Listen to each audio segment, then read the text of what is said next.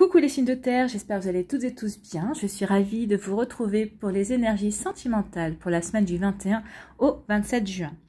N'oubliez pas qu'il s'agit d'énergie générale. Prenez uniquement les messages qui correspondent à ce que vous vivez. Prenez uniquement les messages qui vous parlent. Prenez uniquement les messages qui résonnent en vous. D'accord? Allez, c'est parti pour vous, amis taureaux. Quel est votre premier message ici?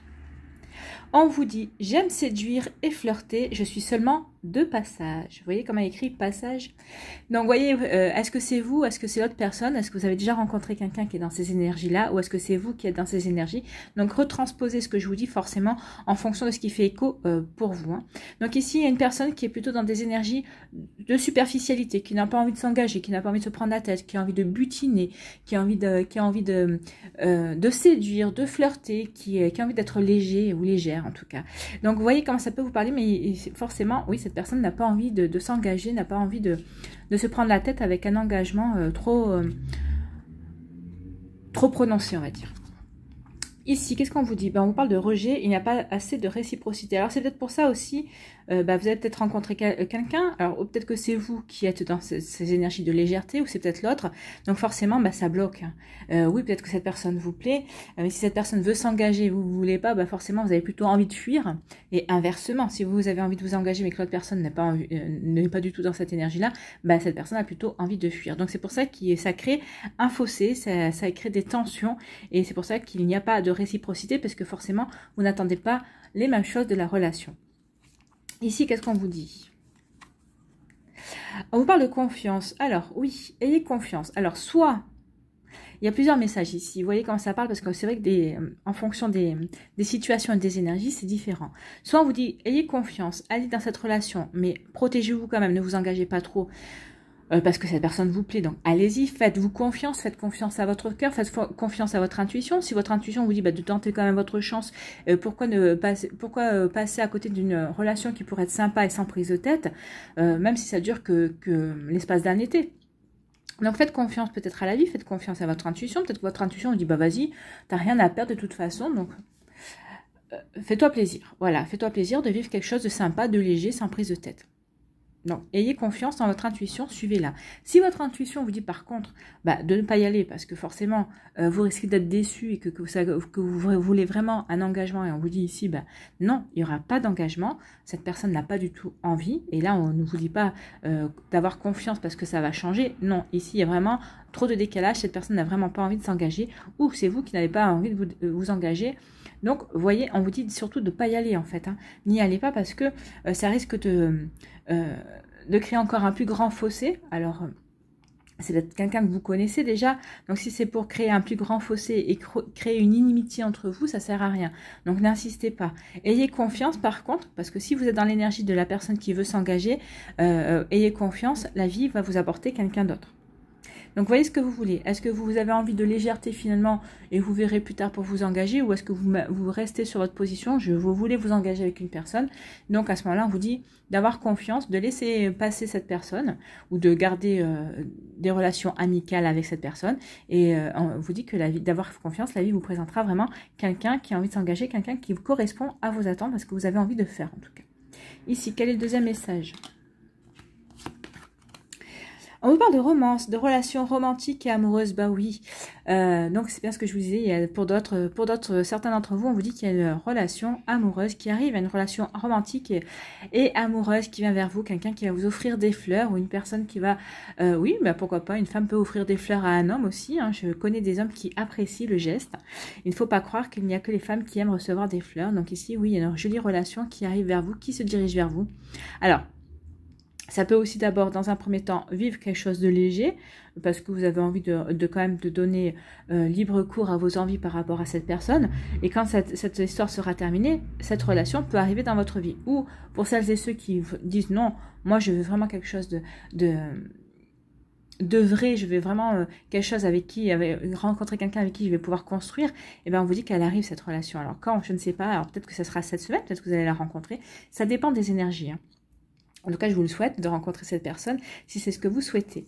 Et on vous dit, bah oui, ça sera vraiment une relation euh, romantique et amoureuse et c'est une relation qui est faite pour durer. En fait, regardez, on vous dit qu'il va y avoir des engagements. Donc soit c'est une relation qui, euh, que vous allez pouvoir construire en fait, c'est une relation qui est vraiment appelée à durer et, euh, et avec des bases solides en fait. Hein. Il y aura un engagement, donc pas de suite. Si vous la rencontrez maintenant, c'est sûr que c'est pas, vous n'allez pas euh, vous marier dans 15 jours, on est bien d'accord. Mais en tout cas, on vous dit ici que la personne qui va rentrer dans votre vie, qui sera dans ses énergies romantiques et amoureuses, c'est une relation qui va durer, c'est une relation qui va, euh, qui est faite pour euh, un engagement, un mariage, un pax, vivre ensemble, enfin pour vivre vraiment dans des énergies de couple. Ici, qu'est-ce qu'on vous dit? Bah, ici, on vous dit que, de, bah, justement, il n'y a pas assez de réciprocité par, avec, par, rapport à une personne que vous avez rencontrée ou qui est dans votre vie et qui vous fait peut-être des appels du pied, hein, qui vous dit coucou, euh, moi je suis là. Donc, voyez toujours si vous, vous êtes plutôt la personne qui a envie de s'engager ou la personne qui n'a pas envie de s'engager. Et on vous dit que de toute façon, ici, si vous, euh, allez avoir quand même une, rencontre amoureuse. Il y a quand même une rencontre amoureuse. Donc oui, c'est pas grave si euh, avec cette personne il n'y a pas de réciprocité. Il y a quelque chose de joli qui arrive vers vous, pour vous en tout cas qui ne va pas tarder et ça va aller dans ce que vous espérez si vous espérez l'engagement. Et les personnes qui ne veulent pas s'engager, eh ben on vous dit que vous allez quand même avoir rencontré la bonne personne qui vous donnera peut-être envie bah, justement de ne plus être euh, passage, ne plus être dans des énergies de flirt. Enfin, si vous aurez peut-être envie d'être dans des énergies de flirt et de séduction, mais ça sera pour flirter et séduire, mais pour aller vers la personne qui fait chavirer votre cœur, pour aller vers quelque chose de joli et de constructif. Ici, on vous parle de confiance. Ayez confiance, oui. Alors pour d'autres, hein, peut-être que vous êtes déjà dans, euh, une relation, euh, peut-être déjà dans une relation romantique et amoureuse, hein, si vous êtes déjà en couple. En tout cas, on vous dit d'avoir confiance. Oui, cette relation est faite pour euh, aller dans la durée. Vous allez vous engager. Peut-être que votre autre pense justement à s'engager, à vous faire une proposition. Alors, de vie commune, si vous ne viviez pas encore ensemble, c'est déjà un grand pas. Si vous vivez déjà ensemble, peut-être que c'est euh, à agrandir la famille, à faire un bébé, ce qui est également l'engagement, pour moi, euh, le plus sincère et euh, qui vous inscrit vraiment dans la durée, puisque, bon, bah, un enfant, bah, une fois qu'il est là, on ne peut pas le renvoyer d'où il vient, donc c'est quelque chose qui vous engage pour la vie, un enfant. Et ça peut être aussi une demande en mariage, une demande de pax, en tout cas, et ici, il y a une officialisation il y a une officialisation de l'union. Donc en tout cas ici on vous dit, si vous êtes célibataire, vous allez rencontrer quelqu'un, ayez confiance, on va vous envoyer quelqu'un euh, avec qui vous pourrez construire et vous engager sur des bases solides, il y aura vraiment une notion d'engagement.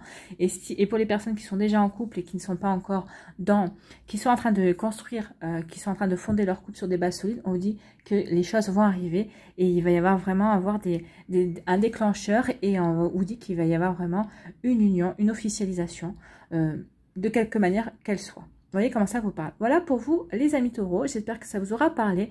J'espère que ça vous aura éclairé. J'espère que ça vous aura aidé et que ça va vous inspirer pour la suite.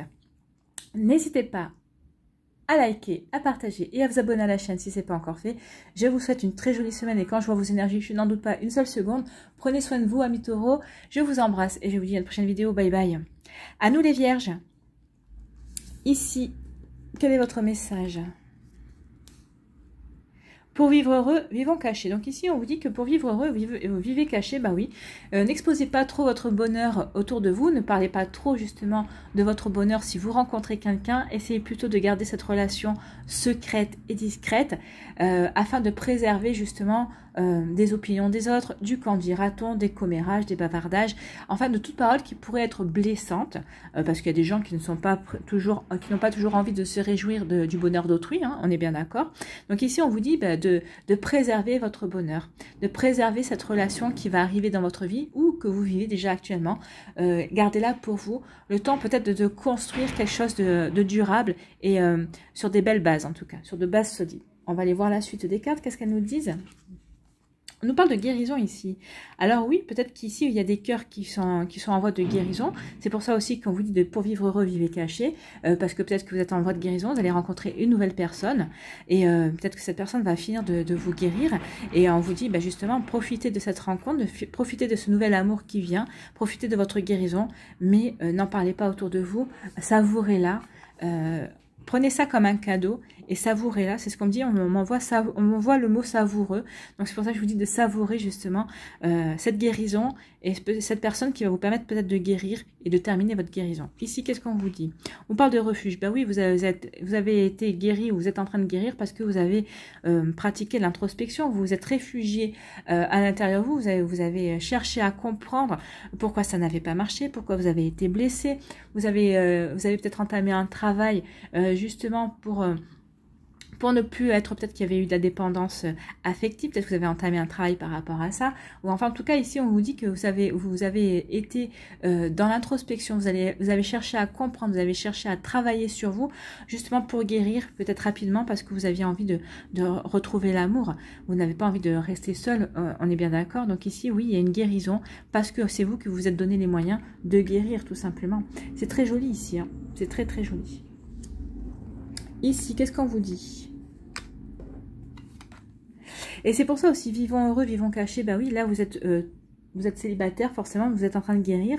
Mais euh, ce qu'on veut vous dire ici, c'est que maintenant que vous êtes sur la voie de la guérison, n'en parlez pas trop. Parce qu'il y a des gens qui pourraient peut-être venir euh, vous remettre une couche sur ce qui, sur ce qui vous a fait du mal, sur, sur le coup de couteau que vous avez peut-être eu à avoir. On va peut-être en, rajouter un. Donc c'est pour ça ici, votre guérison, bah, oui, guérissez, mais tranquillement, à l'abri des regards. N'ébruitez pas que vous, allez beaucoup mieux. Euh, prenez du recul par rapport à ça et continuez, vous êtes sur le bon chemin. Ici, qu'est-ce qu'on vous dit? Rien ne peut arrêter cet amour. Donc ici, il y a quelqu'un... Alors, il y a quelqu'un, non. Oui, il y a quelqu'un qui arrive pour vous, ça c'est sûr. Donc ici, si vous êtes célibataire, pour certains et certains d'entre vous, alors il y a deux messages. Soit on vous dit qu'il y a quelqu'un qui arrive euh, sur votre sur votre chemin de vie, sur votre chemin amoureux. Donc on vous dit que c'est un, un bel amour, c'est un amour absolu. Ou alors, c'est la personne avec qui vous avez euh, rompu. Peut-être que c'est euh, la personne précédente ou peut-être avant, mais en tout cas ici on vous dit qu'il y a un amour qui est fort et que rien n'arrêtera cet amour. Je pense qu'il y, a une personne qui va revenir de votre passé, il y a votre ex qui va revenir, un de vos ex qui va revenir, parce que cette personne... Euh, alors peut-être qu'il y a eu des relations qui se sont terminées, mais qu'il n'y a jamais eu de rupture en fait. Hein. C'est la vie qui a fait que vous vous êtes éloigné, peut-être que vous n'étiez pas dans la même vie, peut-être qu'il y a eu une mutation, peut-être que c'était prévu que vous rejoigniez cette personne ou que cette personne devait, devait vous rejoindre. Les choses ne se sont pas faites comme vous, comme vous vouliez. Il y a eu des C'est marrant parce qu'on parle vraiment que oui, c'est ça. C'est un amour qui n'a pas pu euh, se poursuivre euh, comme il aurait dû se poursuivre. Il y a eu des empêchements, il y a eu la vie s'en est mêlée et cette personne va revenir dans votre vie. ça ne parlera pas à tout le monde, hein, c'est un message assez spécifique, mais cette personne va revenir dans votre vie ou vous allez revenir vous dans la vie de cette personne. Et parce qu'en fait, vous avez quelque chose à vivre. Oui, on vous dit que rien ne peut arrêter cet amour. Bah oui, vous avez peut-être eu une pause de deux ans, de cinq ans, euh, par la force des choses, mais euh, cette personne n'a jamais cessé de penser à vous. Vous n'avez jamais cessé de penser à cette personne. Euh, vous l'avez toujours aimée, elle vous a toujours aimé, et vous allez vous retrouver. Ou peut-être qu'elle est déjà en train, vous avez peut-être eu déjà des, des, signes de cette personne, et en tout cas, elle est en train de revenir dans votre vie à l'heure actuelle. Et, et on vous dit ici, oui, elle revient parce que c'est un amour véritable que vous vivez, c'est un amour absolu. C'est un très joli message, donc ça ne parlera pas à tout le monde. Sinon, on vous dit aussi, on peut vous annoncer à certains, certains d'entre vous que effectivement euh, l'amour arrive dans votre vie. L'amour arrive dans votre vie. Donc oui, il y a une réconciliation, il y a une réparation. C'est ce que je disais. Hein, si, votre amour, si vous avez, euh, s'il y a eu une rupture malgré vous, on va dire, euh, on vous dit que bah oui, le fait que cette personne revienne dans votre vie ou que vous reveniez dans sa vie, il va y avoir des explications. Vous allez vous expliquer, vous allez vous dire voilà, bah moi je t'ai jamais oublié, je t'ai toujours aimé. Et en fait, il va y avoir des, cicatrisations, il va y avoir des, cœurs qui vont se, retrouver et qui vont renaître, euh, entre guillemets, de leur cendre. En tout cas, ici, vous voyez, il y a, il y a une belle cicatrisation pour, euh, ce, cas de figure-là. Sinon, oui, peut-être euh, vous allez peut-être retrouver votre ex-compagnon, votre ex-compagne. Euh, il va y avoir peut-être des éclaircissements. Ici, peut-être que c'est ce que vous vouliez suite à un break. Mais là, ça ne parle pas comme ça. Moi, ça me parle plutôt d'un amour qui n'a pas pu aboutir, qui n'a pas pu se construire comme il aurait dû se construire par, parce que la vie s'en est mêlée. Il y a eu des obstacles. Vous voyez comment ça peut vous parler. Ici, on vous dit que vous êtes sur la voie de la guérison pour d'autres. Vous êtes euh, sur la voie de la guérison et euh, vous allez attirer l'amour à vous, un bel amour à vous. Oui, parce que vous allez être guéri. Et en fait, maintenant, quand vous êtes guéri, vous êtes prêt et prête à accueillir l'amour. Et il y a un très bel amour qui arrive. Vous allez comprendre qu'en fait, ben, ce que vous avez vécu comme expérience, que vous avez vécu euh, comme obstacle et comme embûche, et comme déception aussi amoureuse, ben, c'était pour vous préparer à l'arrivée de cette personne.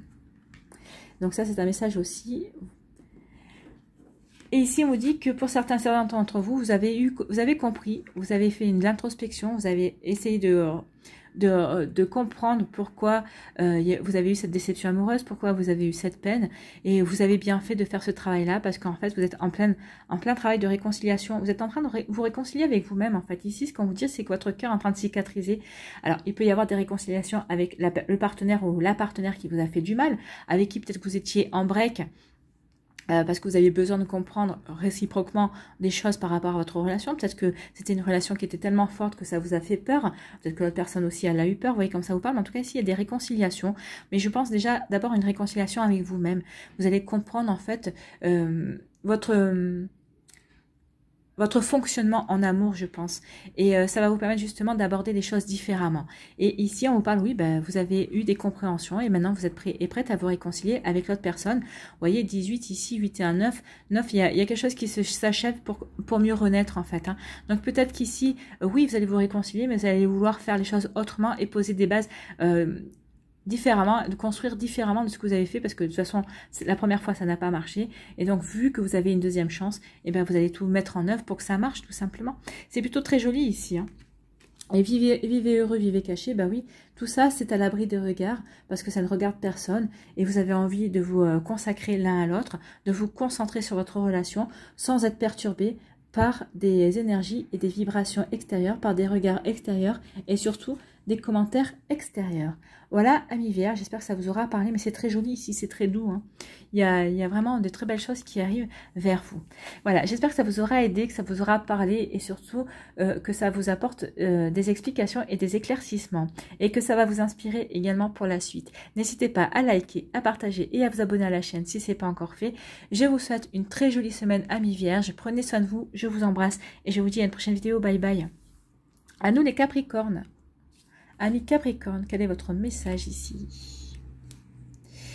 Face à ce dilemme, je préfère me retirer pour clarifier mon esprit. Donc ici, euh, vous avez un dilemme par rapport à une personne. Alors est-ce que, euh, est-ce que c'est, vous avez, est-ce qu'elle vous pose quel genre de problème vous pouvez, pouvez avoir? Est-ce que vous vous sentez en décalage?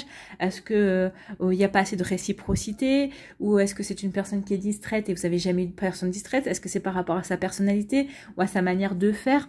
Donc, voyez comment ça, comment ça vous parle. En tout cas, ici, vous avez besoin de prendre du recul pour faire le point, pour savoir si vous avez envie de continuer dans cette relation, si vous n'avez pas envie de continuer, si vous avez envie de tout arrêter.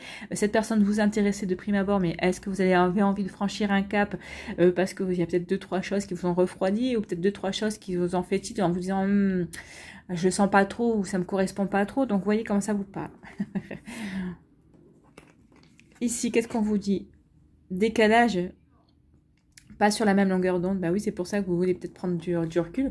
Vous apercevez que finalement, bah, vous n'êtes pas sur la même longueur d'onde. Oui, peut-être qu'il y a une attraction, peut-être qu'il y a une chimie entre vous, peut-être que c'est euh, une, une attirance charnelle, euh, mais il n'y a rien d'autre. En fait, vous ne pouvez pas construire une relation s'il n'y a que sur de l'attirance charnelle, parce que de toute façon, à un moment donné ou à un autre, ça ne suffira pas.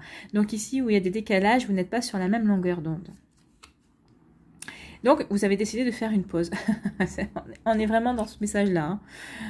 Face à ce dilemme, je préfère me retirer pour clarifier mon esprit. Bah oui, vous allez faire une pause, vous allez dire à la personne, bah, écoute, j'ai envie de faire plutôt une pause, on va faire un break, hein, parce que il y a des choses ici, ça me convient pas ou, ou tu corresponds pas trop, j'aimerais bien mieux j'aimerais bien comprendre ce qui se passe et tout. Euh, vous voyez comment ça peut vous parler, mais en tant cas ici, il y a vraiment ouais, un message fort. Hein.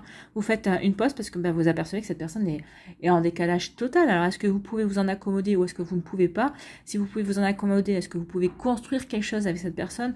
Ou est-ce que vous avez envie de vous en accommoder mais juste pour une période de trois mois? Je sais pas, je sais pas pourquoi trois mois, mais pourtant on n'est pas encore en été. Hein. Euh, en tout cas, pour une, une, période plus ou moins longue, euh, vous voyez comment ça vous parle. Mais en tout cas ici, ouais, il y a vraiment un message comme quoi, oui, euh, peut-être que vous, oui, cette personne, elle vous plaît, mais euh, au-delà de ça, vous n'avez pas grand-chose en commun, en tout cas. Hein, euh, elle est vraiment en total décalage par rapport à ce que vous avez envie, ce dont vous avez peut-être besoin aussi. Euh, donc vous n'êtes pas sur la même longueur d'onde. Peut-être que dès que cette personne dit un mot, bah, vous le prenez mal. Ou, inversement, dès que vous dites quelque chose, bah, cette personne se sent attaquée. Enfin bref, euh, il y, a, vraiment une incompatibilité d'humeur. Moi, j'irai jusque-là. Ici, qu'est-ce qu'on vous dit? Prenez de l'altitude face à la situation. Oui, c'est ce qu'on vous dit, prenez du recul, hein, mais c'est ce que vous allez faire de toute façon entre la pause et le message ici. Vous avez, il y a vraiment, oui, vous avez vraiment besoin de prendre du recul. Hein, vous avez vraiment besoin de prendre euh, de la hauteur pour regarder la, situation sous un angle différent, pour savoir vraiment euh, qu'est-ce que vous voulez faire. En tout cas, ici, on vous présente des nuages, mais sachez que les nuages ne sont que de passage. Donc oui, réfléchissez bien à ce que vous voulez. Et ensuite, une fois que vous aurez pris votre décision, bah, de le dire à la personne, bah, vous, vous, souhaitez euh, arrêter là, ou vous souhaitez continuer, mais vous lui dites que bah, ça durera ce que ça durera, mais que vous ne pouvez pas continuer à avoir un problème de communication, parce que le décalage, pour moi, je pense qu'il y a un problème de communication, vous n'arrivez pas à vous comprendre, en fait. Hein. Et c'est ça aussi, ça, ça peut refroidir, forcément, quand vous dites quelque chose, si tout est pris de travers, bah, ça donne pas envie. Hein. Ou alors, vous, vous, avez compris, vous vous en accommodez, mais euh, quand on peut pas s'exprimer euh, comme on a envie dans un couple, forcément, à un moment donné un autre, ça craque. Hein. Ici, qu'est-ce qu'on vous dit? On vous dit que lumière. Bah, vous allez avoir des compréhensions, oui.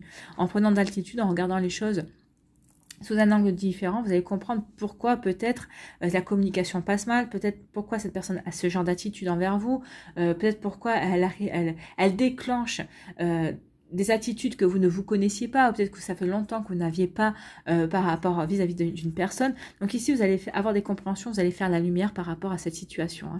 Donc ici, forcément, le message ne parlera peut-être pas à tout le monde, mais je pense que ça va parler à une minorité de Capricorne quand même, parce que le message est fort ici, et euh, il y a quand même euh, trois, quatre cartes hein, qui vous parlent de prendre du recul, de vous poser dans un coin et de, et de faire de, faire une, de vous faire une mise au point avec vous-même et par rapport à la situation que vous vivez ou par rapport à la personne que vous avez rencontrée ou par rapport à la personne avec qui peut-être que vous êtes déjà en couple, mais vous êtes en couple peut-être, mais vous vous apercevez que finalement, ben, il y, a, y a quelque chose qui colle pas.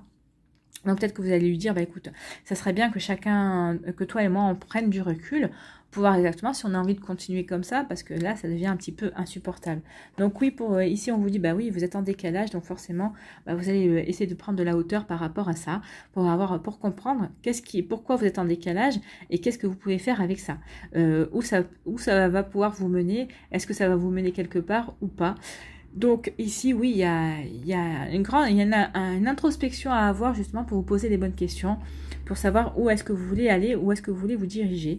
Et ici, ben oui, euh, ce break sera le bienvenu pour faire la lumière. Alors peut-être pour d'autres personnes, c'est peut-être juste passager. Hein. Peut-être que oui, bah, certaines personnes, c'est un décalage qui n'est pas passager. Et d'autres personnes, bah oui, en ce moment, avec votre partenaire, bah, vous êtes peut-être un décalage.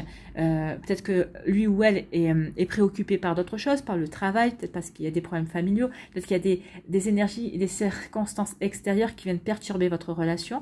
Donc peut-être que vous allez lui proposer de faire un break, justement le temps que il ou elle règle ses, problèmes, ou peut-être que c'est vous qui avez ce genre de problème, donc vous allez demander peut-être pendant un temps de faire une pause pour régler vos, problèmes. En tout cas, vous allez avoir des compréhensions suite à ça, et je pense que vous prendrez des décisions. Alors, si vous êtes en décalage parce qu'il y a des perturbations extérieures, je pense que le break est le bienvenu parce que vous devez régler vos problèmes peut-être parce que vous n'arrivez pas, vous êtes peut-être trop préoccupé parce que c'est peut-être un amour récent, euh, récent ou un amour naissant, donc vous êtes, euh, vous n'arrivez pas à vous consacrer totalement à la personne avec qui vous avez envie d'être parce que justement de l'autre côté vous avez des problèmes, donc vous avez, vous allez lui dire, bah écoute, j'ai envie d'être avec toi, mais j'ai trop de, de soucis à côté, donc permets-moi d'instaurer une pause et euh, pour justement régler mes problèmes et ensuite qu'on puisse se consacrer à nous. C'est possible aussi. Hein. Vous voyez dans quelle situation vous pouvez vous trouver. En tout cas, ici, on vous dit que cette pause sera la bienvenue. Ça va vous permettre d'avoir des compréhensions et euh, de faire la lumière sur certaines choses.